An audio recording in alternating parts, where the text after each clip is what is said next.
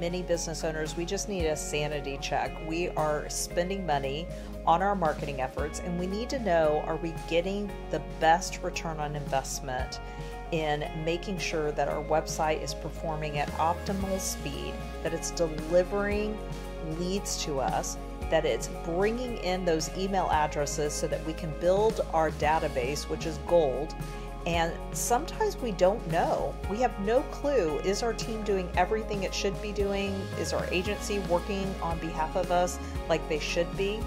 Well, when I started my agency, I wanted to make sure that you had these answers. And so, therefore, we've got our marketing snapshot report.